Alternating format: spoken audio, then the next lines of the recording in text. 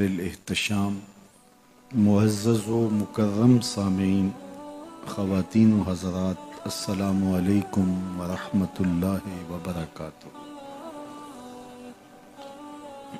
किताब रहमत कुरान मजीद से जो कलिमात सूरा बनी इसराइल से आपके सामने रखे हैं उन पर कुछ वक्त के लिए आपकी तवज्जो चाहूँगा अल्लाह ताला मेरी ज़ुबान पर कलिमतुल हक जारी फरमाए। इरशाद किया, वक़दा रब्बु का अल्लाह ताबुदू इल्ला हो तेरे रब ने ये फैसला कर दिया है कि उसके अलावा किसी और की परस्तश नहीं होगी, किसी और की पूजा नहीं होगी। इबादतों का मुस्तक वही है सजदा रेजियाँ उसी के हुजूर पेश की जाएँगी। बंदगी का सर उसी की चौखट पर रखा जाएगा। किसी और को चाहे वो कितना ही मोतबर और मुआज़ क्यों ना हो, ये हक नहीं पहुँचता कि उसे सजदा किया जाए। सजदा सिर्फ़ अल्लाह ही के लिए है और वही सजदों और इबादतों का मुस्तक है। अल्लाह के महबूब सलाम की खिदमत में एक सहाबी हाजिर हुआ और अर्ज़ की कि मेरा ऊँट दीवाना हो गया। जब ऊँट दीवाना हो जाए तो बड़ा ख़तरनाक हो जाता है और सख्त नुकसान पहुंचाता है। तो ऊँट दीवाना हो गया तो वो हुजूर के पास दौड़ा हुआ आया। सहाबा अपने सारे दुखों का मदावा हुजूर को जानते थे। सल्लल्लाहु अलैहि वसल्लम।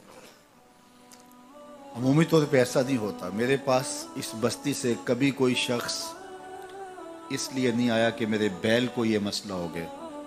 उसे पता है कि ये दीनी मसाइल बताएगा या किसी फैक्ट्री वाले ने अपनी मशीनरी की ख़राबी और फ़नी नुक्स को आके मेरे सामने बयान नहीं किया कि इसका हल बताइए।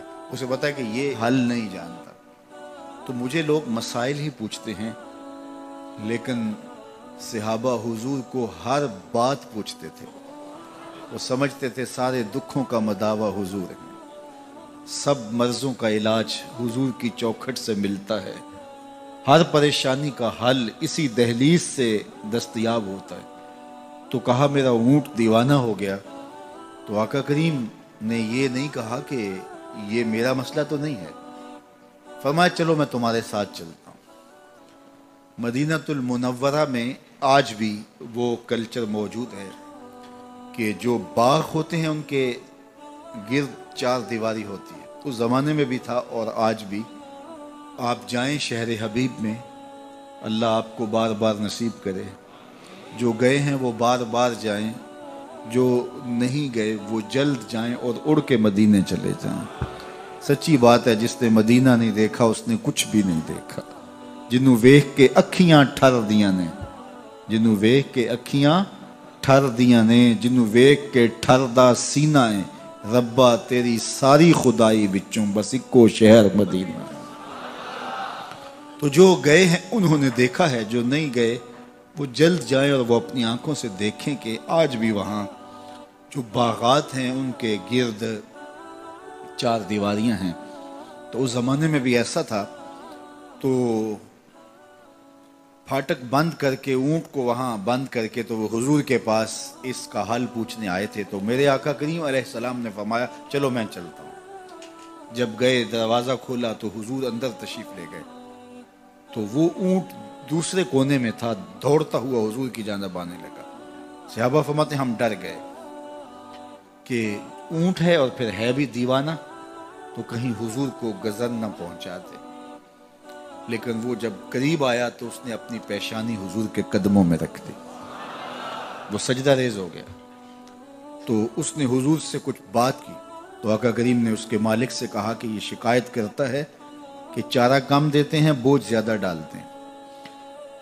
अब इसमें बहुत सारे पहलू हैं बयान करने के, लेकिन जो मैं अपने मजमून की तरफ़ आपको लाना चाहता हूँ, वो ये है कि हुजूर अलैहिस्सलाम के सामने जब वो ऊँट सजदा रेज हुआ तो सहाबा ने हुजूर की खिदमत में अर्ज़ की, नाहनो अहक्को अन नबी सल्लल्लाहु अलैहि वसल्लम। हुजूर, हमारा जी चाहता है कि हम आपके सामने सजदा रेज हों। हमारा ज़्यादा हक है। एक ऊँट हो के बेजुबान हो के वो भी सजदे कर रहा है तो हम तो फिर आपके गुलाम हैं। आला हज़रत बोले, सामने वो जलवाए नौ बहार। सामने वो जलवाए नौ बहार, सजदे को है दिल बेकरार। सजदे को है दिल बेकरार, रोकिए, सर को रोकिए। हाँ यही तो इम्तिहान है। तो बेकरारी तो पैदा हुई। अल्लाह अकबर। तो कहा कि हुजूर, जी चाहता है कि हम आपको सजदा करें। तो आका करीम ने क्या जवाब दिया? फरमाया, अगर मेरी शरीयत में सजदा रवा होता, जायज़ होता तो मैं बीवी को हुक्म देता कि वो शोहर को सजदा करे। लेकिन अल्लाह के अलावा किसी और के लिए सजदा जायज़ नहीं है। सजदा ताबुदी इबादत का सजदा तो कभी भी किसी के लिए जायज़ नहीं हुआ। पिछली शरीयतों में भी कभी जायज़ नहीं हुआ तो हुजूर की शरीयत में भी जायज़ नहीं। वो तो सिर्फ़ अल्लाह के लिए ही किया जाता है। और अगर अल्लाह के अलावा किसी और के लिए सजदा ताबुदी किया जाएगा तो शिरक होगा। यहाँ सजदा ताजीमी की बात है। वो पिछली शरीयतों में जायज़ रहा, उनका तहयत था। जिस तरह हज़रत आदम सलाम के लिए फरिश्तों का सजदा रेज होना। ये सजदा इबादत नहीं था, ये सजदा तहयत था। ताजीमी सजदा। ताजीम के मुख्तलिफ़ रूप होते हैं ना। ये ब्रिटिश कानून है कि सैल्यूट करते हैं। ये ताजीम है, तकरीम है। हमारे सिंध के इलाके में चले जाएँ तो वो हाथ जोड़ के साई कह के मोहब्बत का, इज़्ज़त का इजहार करते हैं। हमारे यहाँ चले जाएँ सराइकी बैलेट में तो वहाँ वो पाँव पे हाथ रखते हैं। तो मुख्तलिफ़ ज़राए हैं ताज़ीम के। कहीं सैल्यूट किया जाता है, कहीं हाथ जोड़ करके, कहीं टखनों पे हाथ रख के, कहीं जो है वो इज़्ज़त के लिए और ज़राए हैं। तो तहयत का सजदा था किसी ज़माने में। हज़रत सैदना यूसुफ सलाम के लिए ग्यारह भाई और माँ बाप ने सजदा किया, जो उन्होंने ख्वाब देखा था, उसकी तकमील हुई और फिर कहा, या आबाते आज़ा तावील रो या या मिन कबल, मेरे बाप ये है मेरे ख्वाब की ताबीर, जो मैंने बहुत पहले देखा था। तो वो ताजीमी सजदा था, वो तकरीम थी, वो सैल्यूट था और मुख्तलिफ़ जबानों के अंदर ऐसा होता था। लेकिन हुजूर की शरीयत में तकरीम का ये अंदाज ख़त्म कर दिया गया और कहा, अगर तकरीम, इज़्ज़त तहयत सजदे की सूरत के अंदर जायज़ होता मेरी शरीयत में तो मैं बीवी को हुक्म देता कि वो शोहर को सजदा रेजी करे। तो ये किसी के लिए भी जायज़ नहीं हती कि अल्लाह के रसूल के लिए भी जायज़ नहीं है। तहयत का सजदा माजी में जायज़ था, लेकिन इस शरीयत में सजदा भी जायज़ नहीं है। तहयत का सजदा भी जायज़ नहीं है। ताबुत का सजदा तो कभी भी जायज़ नहीं रहा। तो अल्लाह के अलावा किसी और के आगे सजदा रेजी जायज़ नहीं है। ये बात अच्छी तरह से जहन नशीन कर लीजिएगा कि अल्लाह के अलावा किसी और के लिए अगर कोई सजदा ताबुदी करता है, इबादत की नीयत से, काफिर होगा, मुशरक होगा दायरा इस्लाम से खारिज होगा।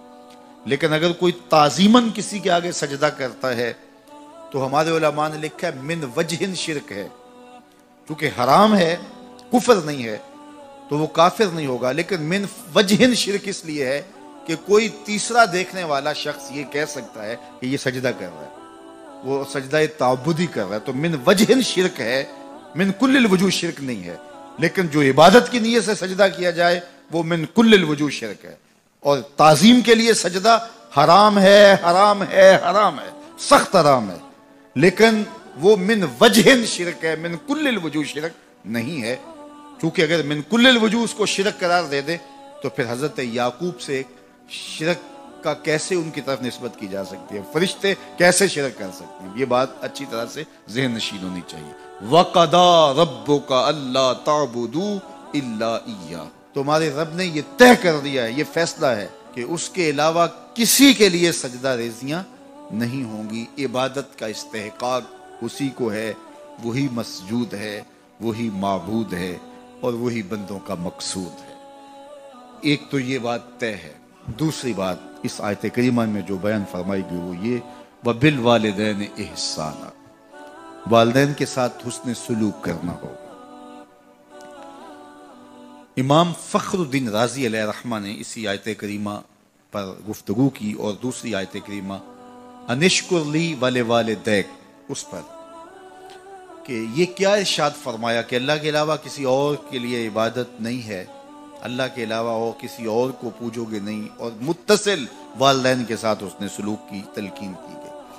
तो फरमाते हैं मुतसिल माँ बाप के साथ उसने सलूक की, तलकीन, अल्लाह की इबादत का ज़िक्र करने के बाद क्यों है?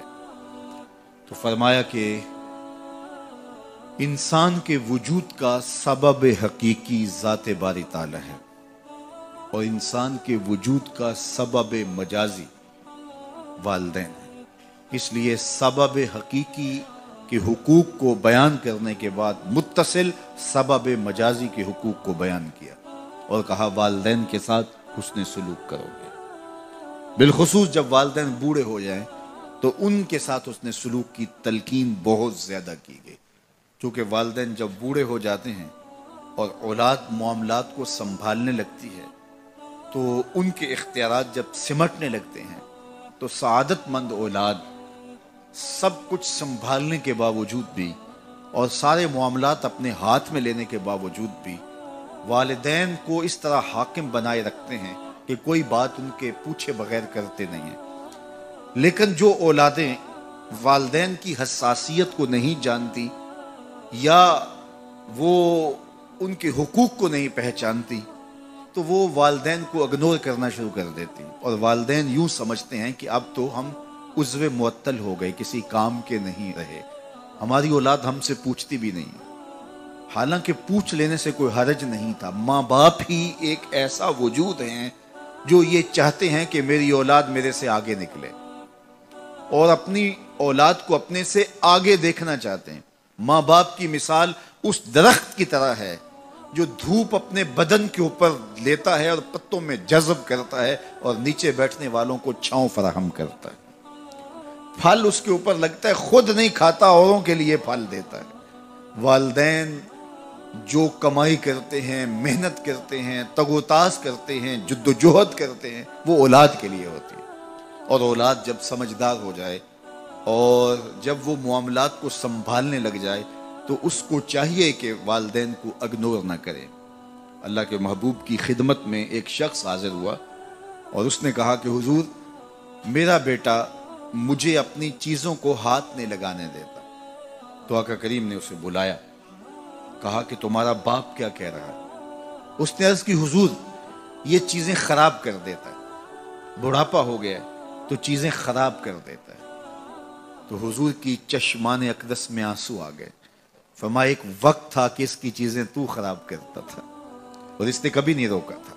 तो हुजूर ने एक तारीख साज जुमला इशाद फरमाया, अंता व मालो का ले अभी का, तू भी और तेरा माल भी तेरे बाप का है।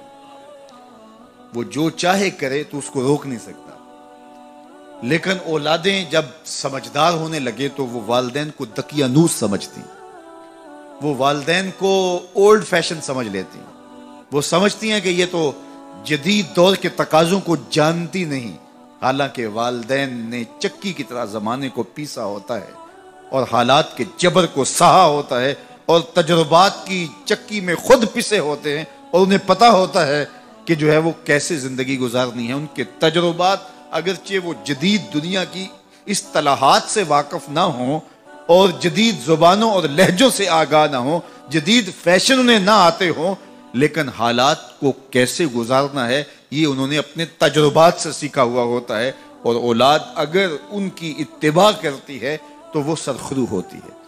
लेकिन चूँकि गर्म खून जब आता है तो फिर वो चाहता यह है कि मैं ज़्यादा समझदार हूँ तो वालदेन को वो इग्नोर करने लग जाते हैं। और वालदेन जब अपने इख्तियार सिमटते महसूस करते हैं और औलादों के इख्तियार बढ़ते हुए महसूस करते हैं तो एक तरह से वो अंदर से टूटना शुरू हो जाते हैं और ये उनके लिए अजियत का सामा है। तो इसलिए मेरे रब ने इंसानी नफ्सियात और इंसानी कमजोरियों को मद्देनजर रखते हुए कितनी खूबसूरत जो है वो ताकीद फरमाई व बिल वाले दैन एहसाना, उनके साथ तुमने हुसन सलूक करना है। तुम्हारे रवैये खूबसूरत बल्कि फरमाया, तुमने उनके सामने उफ भी नहीं कहना। कलमा ताफीफ क्या है, उफ भी नहीं कहना। तो कहते हैं कि आपके हाथ पर, बदन पर, लिबास पर, किसी जगह पर कोई गर्द, कोई रेजा पड़ा हुआ हो तो आप उसको फूंक से ऐसे उड़ाते हैं, फूंक मारते हैं। तो उससे जो आवाज़ पैदा होती है, उसको उफ कहते हैं। तो कहा कि इस कदर भी उनके सामने तुम अपने मामले को पेश न करो, वालदेन के सामने यूँ मोहब्बत का इजहार करो। कलमा ताफीफ के जुमरे में ओलामा ने यह भी लिखा है कि हर वो रवैया जो माँ बाप के लिए अजियत का सबब हो, हर वो काम जो वालदेन के लिए अजियत का सबब हो, उसको न किया जाए। हज़रत इमाम हसन रदी अल्लाह तहो हज़रत सैदा फ़ातिमा तो जहरा रदी अल्लाह तहो के साथ खाना नहीं खाते थे। एक दिन उन्होंने कहा, बेटा, मेरी आरज़ू है कि तुम मेरे साथ खाना खाओ, लेकिन मैं देखती हूँ कि तुम मेरे साथ खाना नहीं लेते हो। तो अर्ज़ की, अम्मी जान, मैं इस डर से आपके साथ खाना नहीं लेता कि किसी लुकमे की तरफ़ आपकी नज़र बढ़ गई हो, और आपका हाथ अभी नहीं बढ़ा, और मैं पहले उस लुकमे को उठा लूँ। जिसकी तरफ़ आपकी निगाह सबकत ले गई है और आप माँ होने की वजह से मुझे ना रोकें। वो एक फलसफी कहता है, मुझे माँ की मोहब्बत का सही अंदाज़ा उस दिन हुआ जब सेब चार थे और हम पाँच थे। माँ ने कहा, मैं तो सेब पसंद ही नहीं करती। ये माओ के रूप होते हैं, ये माओ के प्यार का रंग होता है। तो कहा, कोई लुकमा अच्छा हो और आपकी नज़र बढ़ गई हो, लेकिन मेरा हाथ पहले बढ़ जाए और आप इस वजह से कि आप माँ हैं तो आप जो है वो उसकी तरफ़ हाथ ना बढ़ाएँ तो मैं इस डर से आपके साथ बैठ के खाना ही नहीं खाता। ये कलमा ताफीफ है कि उनका इस तरह से लिहाज रखा जाए। ओलामा ने कलमा ताफीफ के अंदर यह बात भी लिखी है कि जब वालदेन बूढ़े हो जाएँ और अर्जल उम्र को पहुँच जाएँ, जब उम्र बढ़ती चली जाती है तो बचपना लौटना शुरू हो जाता है। वह मन नुअमिर हो नुनक के सोफिल खल सुदा यासीन में इशाद फरमाए, जब हमको लंबी उम्र देते हैं किसी को तो उसको बचपन की तरफ़ फिर पलटा देते हैं। दांत गिर गए, सख्त और ठोस गजा बच्चों की तरह अब फिर वो नहीं ले सकता।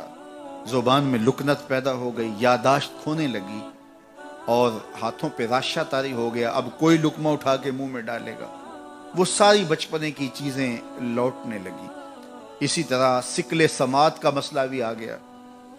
और फिर उसके बाद जो है वो चलने फिरने से भी कासर है। बोलो बराज चारपाई पे है जिसका बचपन में होता है। वह मन नुअमिर हो नक के सोफिल खल हम दोबारा पलटा लेते हैं उसी बचपने की तरफ़। दोबारा उसी उम्र में आ जाता है, उसी कैफियत में आ जाता है। अल्लाह अकबर, ये गौर करने की बातें हैं, ये अल्लाह की निशानियाँ हैं। अब जब दोबारा वो चारपाई पे आ गया तो जिस तरह बच्चा चारपाई पे होता है और थोड़ा सा चले भी तो चारपाई को पकड़ के थाम के चलता है। ठोस गजाएँ नहीं खा पाता। आज़ा उसके कमज़ोर होते हैं, मुदमहल होते हैं। वही हालत दोबारा बूढ़े बुज़ुर्ग की हो गई, बूढ़ी माँ की हो गई, बूढ़े बाप की हो गई। अब उनको भी नरम लुक में, शोरबे में भगो के मुँह में डालने पड़ते हैं। मुँह में दांत नहीं है कि चबा सकें। अल्लाह अकबर बार बार एक चीज़ का मुतालबा करते हैं। तबीयत में चिड़चिड़ापन पैदा हो जाता है। बचपने वाली जिद पलट आती। और बोलो, बराज भी चार पाई पे। अब बूढ़े माँ बाप के खिदमत गुजार बच्चे उनको उठाते हैं और उनको धोते हैं और फिर वहाँ चारपाई पे डालते हैं। लेकिन उस ताफुन से, उस बदबू से जो बोलो, बराज की वजह से पैदा हुई, अपनी नाक पे कपड़ा रख लेते हैं। तो बूढ़े माँ बाप हसासीत की वजह से ये सोचते हैं कि मेरी औलाद अब मुझसे नफरत कर रही है। तो उफ के जुमरे में ओलामा ने लिखा है कि बदबू सैलो नाक पे कपड़ा ना रखो क्योंकि उनको इसकी भी तकलीफ़ ना हो। जब छोटे बच्चे को माँ धोती है तो उस वक्त कपड़ा नाक पे नहीं रखती। बदबू आ रही होती है, लेकिन ये माँ का प्यार होता है। बूढ़ा हो जाए तो उनके जहन में ये ख्याल आ सकता है। तो ताफीफ के जुमरे में लिखा गया कि नाक पे कपड़ा भी ना रखे, बदबू सहले, तकलीफ़ गवारा कर ले, लेकिन उनको इसका एहसास भी ना हो। अल्लाह अकबर। जब बच्चा होता है तो तोतली बातें करता है तो वो बातें माँ बाप के लिए खुशी का सबब होती हैं। सारे बहन भाई खुश होते हैं, उसकी तोतली बातों से एक तस्कीन होती है उनको। लेकिन बूढ़ा जब तोतली बातें करने लगे, लहजा टूटा हो जाए तो बाज बच्चे हँसते हैं। तो जिस तरह तोतली बातों का लाड माँ बाप देखते हैं, बूढ़े के तोतले लहजे के भी लाड देखे जाए। ये कलमा ताफीफ के जुमरे में आता है। तो कहा, उनके सामने उफ भी ना कहो और उनकी ताजीम करो, अपने बाजू सुकेड़ दो। जो कहा गया ना कि अपने बाजू उनके सामने सुकेड़ दो। ये परिंदा जब उड़ता है फजा में, उड़ान भरता है तो वो बाजू फैलाता है और फिर उनको जुम्बश करके आगे बढ़ता है। लेकिन जब उसने दोबारा ज़मीन पे आना तो बाजुओं को सुकेड़ना शुरू कर देता। जब बाजू सुकेड़ता है तो वो ज़मीन पे आ जाता है। तो कहा, वालदेन के पास जब आओ तो बाजू सुकेड़ लो। मतलब क्या? तुम मुफ्ती शहर हो। तुम अलामत उद्दार हो। तुम डीसी हो। तुम एसएसपी हो। तुम मिनिस्टर हो। तुम बहुत कामयाब बड़े बिजनेसमैन हो। तुम डॉक्टर हो। तुम इंजीनियर हो। जमाना तुम्हारी बातें सुनने के लिए तरसता है, दुनिया की दानश गाहों में। तुम्हारी गुफ्तगु मोतियों की तरह लोग झोलियों में डालते हैं। तुम्हें प्रोटोकॉल दिया जाता है, इज़्ज़त होती है, तकरीम होती है। तुम्हारे नाम के नारे लगते हैं, फूल फेंके जाते हैं। तुम्हारे लिए रेड कालीन बिछाए जाते हैं। दुनिया तुम्हें तकरीम देती है, लेकिन उड़ो, इज़्ज़त पाओ। लेकिन जब माँ की गोद में आओ, फिर पर समेट लो। अब डॉक्टर बन के ना आना, अब बिजनेसमैन बन के ना आना, अब मुफ्ती शहर बन के ना आना। अब बलामत दहर और फहामत जमा बन के ना आना अब बेटा बन के माँ के कदमों में आके बैठ। तो यहाँ आओ तो बाजू सकेड़ के आओ, और बाहर जाओ तो बाजू फैला लो तो कहा, इनके सामने अपनी बड़ाई ज़ाहिर न करना, बल्कि इनके सामने तिफले मकतब बन जाना, तिफले शीरखार बन जाना, छोटे से बच्चे बन जाना, इनके लाड देखना, इनकी छोटी छोटी बातों पर जो है वो बातें करना। अल्लाह अकबर, ये ना सोचना, मैं इतना बड़ा डॉक्टर हूँ और मैं इस उनवान से कितने बड़े जो है वो जखीम और इल्मी और नुकता रस दुरूस देता हूँ। और इनके टूटे टूटे लहजों पे बात करता हूँ, यही तो हुस्न है, यही तो तुम्हारा जमाल है। इससे तुम्हारे वालदेन को खुशी होती है। उनकी इज़्ज़त करो, उनकी तकरीम बजा लाओ और उनकी ज़रूरियात का ख्याल रखो। वकादा रब्बो का अल्लाह ताबुदू इल्ला हो व बिल वालदेन एहसाना। उनके साथ उसने सलूक करो। अल्लाह अकबर। हज़रत इमाम गजाली ने लिखा है, और लोगों ने भी लिखा, कि जो शख्स अपने वालदेन के लिए रोज़ाना मगफरत की दुआ करे, वालदेन ज़िंदा हों, तब भी फौत हो गए हों, तब भी। इसमें कभी भी नागा ना करे, रोज़ाना अपने वालदेन के लिए मगफरत की दुआ करे। अल्लाह अकबर, सारी ज़िंदगी उसके रिस्क में बेबरकती नहीं आ सकती। सारी ज़िंदगी। तजुर्बा करके देख। रोज़ाना उनके लिए मखफरत की अहतमाम के साथ दुआ कीजिए। सारी ज़िंदगी उनके रिस्क में बेबरकती नहीं आएगी। अल्लाह बरकतों का नजूल फरमाएगा। उलमा ने लिखा कि एक अमल ऐसा है, एक अमल ऐसा है, जिसका सिला आखिरत में तो है ही है, दुनिया में भी ज़रूर मिलता है। और एक गुना ऐसा है जिसकी सज़ा आखिरत में तो है ही है। दुनिया में भी ज़रूर काटना पड़ती है। वो नेक अमल माँ बाप की खिदमत है। निशान लगा ले उस शख्स पे जो माँ बाप का खिदमत गुजार है। सारी ज़िंदगी उसकी पगड़ी का कल्स नीचे होते नहीं देखेंगे। और उस शख्स पे भी निशान लगा ले जो माँ बाप का बेअदब है। सारी ज़िंदगी आप उसको रसवा होते देखेंगे। तो अपने माँ बाप का अदब करेंगे तो दुनिया में भी इज़्ज़त पाएँगे, आखिरत में भी इज़्ज़त पाएँगे। आपके कल्ब को भी तमानियत, तस्कीन और करार नसीब रहेगा। और अगर वालदे की एहानत करेंगे, उनकी बेदबी करेंगे, आखिरत की सजा तो पड़ी हुई है, लेकिन दुनिया में भी जलील और रसवाई मुकदर होगी। कभी किसी मौके पे भी इज़्ज़त नहीं पा सकेंगे जो अपने माँ बाप की तकरीब नहीं करते। तो खुश नसीब वो हैं जो अपने माँ बाप की इज़्ज़त करते हैं, उनके सामने अपने बाजू सुकेड़ के रखते हैं और उनके मामलात में, उनके तर्ज ज़िंदगी में, उनके अंदाज मुआशरत में खुश रहते हैं और उन्हें राहत, आसानी और उनके लिए मोहब्बतें बिछाते हैं। तो अल्लाह ताला उनके लिए आसानियाँ पैदा करता है, रहमतें पैदा करता है। और जो वालदेन को दकियानूस समझते हैं, वालदेन को जो है वो ओल्ड फ़ैशन समझ के उनको नज़रअंदाज करते हैं हती के तोहन तक उतर आते हैं। ये बातें मैं इसलिए कर रहा हूँ कि पिछले हफ़्ते ही एक बूढ़े बाप ने मुझे बुलाया और अपनी औलाद की कहानी सुनाई, जिसने उस औलाद के लिए इतनी मेहनत करके उनको वहाँ तक पहुँचाया कि आज वो दुनियावी तौर पे बहुत ऊँचे मुकाम पे पहुँचे। लेकिन उनको ये भी तकलीफ़ है कि अब वो वहाँ से नीचे लुढ़कना शुरू हो गए उसका सबब ये कि वो अपने माँ बाप के बेअदब हैं।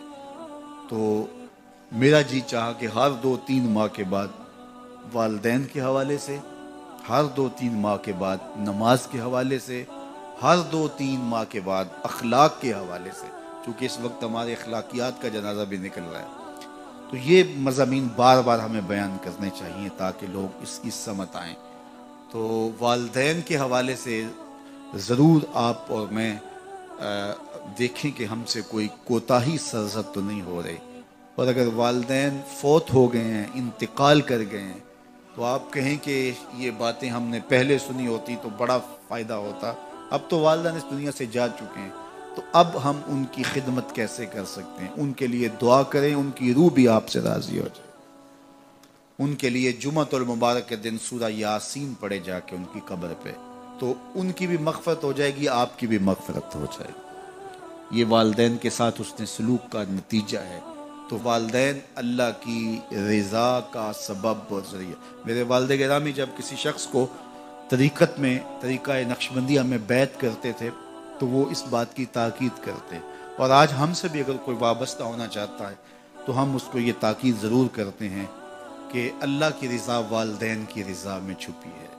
अगर तुम चाहते हो कि अल्लाह राज़ी हो तो वालदेन को कभी भी नाराज़ ना होने देना। और दूसरी बात कि रिस्क हलाल मुयसर नहीं है।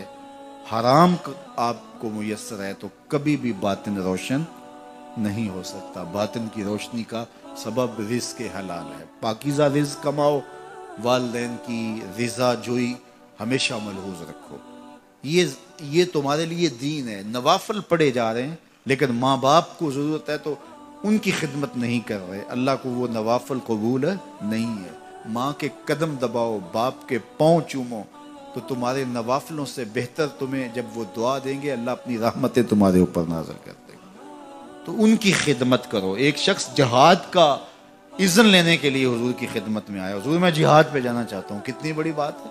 छठा रुकन है इस्लाम का। लेकिन आका करीम क्या बोलते हैं? अहयुन वालिदा का क्या तेरे वालदेन ज़िंदा हैं? काला नाम का जी हजूर ज़िंदा है। काला फफी है माँ फजाहिद कहा, जा उनकी खिदमत कर, यही तेरा जिहाद माँ बाप बीमार पड़े और बेटा जिहाद पे गया अल्लाह के रसूल इसकी हौसला अफजाई नहीं की है। मैं एक दिन गुजर रहा था तो फजर की नमाज़ के बाद एक घर के सामने काफ़ी लोग खड़े थे। तो मैंने पूछा, क्या हुआ? तो कहने लगे कि फौतगी हो गई है। तो मैंने कहा कि उनका कोई बेटा नज़र नहीं आ रहा। कहा, तीनों बेटे तबलीग पे गए हुए हैं। मैंने कहा अच्छा अच्छा माँ की फिर अचानक तबीयत ख़राब हुई होगी, कोई हार्ट का मसला बन गया। कहा, नहीं नहीं, माँ फालज में मुबतला थी। मैंने कहा, फिर तो बहुत ज़्यादती है कि माँ फालज में मुबतला और तीनों बेटे तबलीग पे गए हुए माँ को ज़रूरत है बेटा जाके पीर के दरबार पर बैठा है। गौसे आज़म भी हैं तो फैज़ नहीं मिलेगा। पहला मुर्शद माँ है। हज़रत बाजीद कहते हैं, मैंने माँ के आगे हाथ जोड़े। मैंने कहा, मी तुझे राज़ी करूँ या अल्लाह को राज़ी करूँ? अपने हक माफ़ कर दे, अल्लाह को मैं राज़ी कर ले माँ ने कहा, जा पुत्र, मैंने अपने हक माफ़ किए। बारह साल जंगलों में घूमते रहे। बारह साल, कहा, एक दिन मैं बुस्ताम के करीब से गुजर रहा था, मेरे दिल में आया चलते चलते माँ को सलाम ही कर जाऊँ। रात का मौका था, दरवाजे पे दस्तक देने लगा तो ख्याल आया सारी ज़िंदगी माँ को सुख तो दिया नहीं, दुख क्यों देते हो? अब तो माँ बिस्तर में सोई होगी और सर्दियों की लंबी रात है। तो इसी ख्याल ने हाथ रोक दिए और मैं दरवाजे पे लग के बैठ गया। सारी रात इंतज़ार में काट दी। जब शहरी का वक्त हुआ, अंदर से जो नाली आती थी, उस नाली से पानी आया। मैं समझ गया, मेरी माँ तहजद के लिए उठी है और ये वज़ू का पानी है। मैंने दरवाजे पे दस्तक दी। अंदर से आवाज़ आई, बेटा बाजी, ठहरो, अभी आई। माए बेटों के दस्तक के अंदाज से भी जानती हैं ये किस बेटे के हाथों का लमस है। मैं बार्सलोना के रिपोर्ट पे था तो वहाँ कोई अपना हम ज़ुबान मिल जाए, बैरूनी दुनिया में तो बड़ा अच्छा लगता है। तो मुझे लगा कि साथ वाले बेंच पे कोई माँ बोली बोल रहा है तो मैं लुढ़क गया। तो वो इंडियन पंजाब के लोग थे। तो कहा कि ये हमारा दोस्त है, इसको हम अलविदा करने आए। तो मैंने पूछा, कितने अरसे बाद जा रहे हो? तो वो कहने लगा, सताईस साल, तीन माह बाद। तो मुझे दिलचस्पी पैदा हुई। तो मैंने कहा कि इतना अरसा कहा कि बस वो आया था और ऐसा उलझा, कागजात का मसला बन गया। तो अब अल्लाह ने बेहतरी किया तो अब जा रहा हूँ। जब आया था, उन फवान शबाब था और अब तो बुढ़ापा उतर रहा है और बड़े हसरत भरे अंदाज में कहने लगा, पता नहीं मेरे घर वाले अब मुझे पहचानते भी हैं या कि नहीं। सताईस साल, तीन माह बाद जा रहा हूँ। पता नहीं मेरे घर वाले अब मुझे पहचानते भी हैं या नहीं। मैंने कहा, और कोई पहचाने या ना पहचाने, माँ कदमों की आहट से पहचान लेगी। ये मेरे पुत्र के पैरों की आवाज़ लगती है। बाईजीद बुस्तामी कहते हैं, बारह साल के बाद दस्तक दी मैंने। माँ ने मेरी दस्तक के अंदाज से पहचान लिया। ये बायजीद के हाथों का लमस है। अंदर से आवाज़ आई, बेटा बायजीद ठहरो, अभी आई कहा, थोड़ी देर के बाद माँ दरवाज़ा जब खोला तो मेरी बिखरी हुई हालत, परागंदा सूरत, फटे हुए कपड़े और उलझी हुई सूरत तो माँ की आँखों में आँसू मड आए और ऐसे हाथ बुलंद करके कहा अल्लाह, मेरा बेटा बा यजीद, तेरी तलब में निकला था। तूने अभी तक इसे अपना कुरब नहीं दिया? हज़रत बायजीद कहते हैं, बारह साल जंगलों की खाक छानते हुए जो नहीं मिला था, माँ के उठे हुए हाथों से मिल गया। मैं कहा, मालिक, मैं तुझे कहाँ ढूंढता रहा? तू कहाँ मौजूद है? जिधर माँ की निगाह होती है, वही जगह अल्लाह की जलवागाह हो। तो वालदेन की खिदमत करेंगे तो सरखुरू होंगे। माँ बाप की बेदबी करेंगे तो कभी भी आप सरखुरू नहीं होंगे। मैं अपने सालाना इज्तम के मौके पर भी, उर्स के मौके पर भी, दीगर तकरीबात के मौके पर भी अपने साथियों को कहता हूँ, हिदायत में लिखता हूँ कि माँ बाप अगर इजाज़त नहीं देते तो आप नहीं आए। आपको यहाँ होने वाली बरकतें इन नसीब होंगी। और वालदेन की इजाज़त के बगैर आएँगे तो आकर के भी बरकतें नहीं पा सकेंगे। तो वालदेन की रज़ा को अल्लाह की रज़ा समझो। रज़ा फ़ी रज़ा वालिद व सख़तुल्ला फ़ी सख़त वालिद। वालदेन की रज़ा में अल्लाह की रज़ा छुपी है और वालदेन की नाराज़गी में अल्लाह की नाराज़गी छुपी है।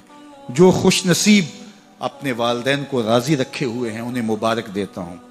और अगर बदकिस्मती से मेरे सुनने वालों, दोस्तों में, पीर भाइयों में, मिलने वालों में किसी के माँ बाप नाराज़ हैं तो वो देर न करे, बहुत जल्द उनको राज़ी कर ले। उनकी रज़ा तुम्हें दुनिया आखरत की सरखरुयाँ और कामयाबियाँ नसीब करेगी। अल्लाह मुझे आपको अपनी पनाह में रखे।